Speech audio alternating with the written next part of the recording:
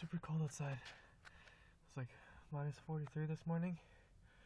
Right now it's probably still minus 35 or something like that. I don't even know if this car is gonna start. Oh, the clutch is frozen. Clutch is frozen.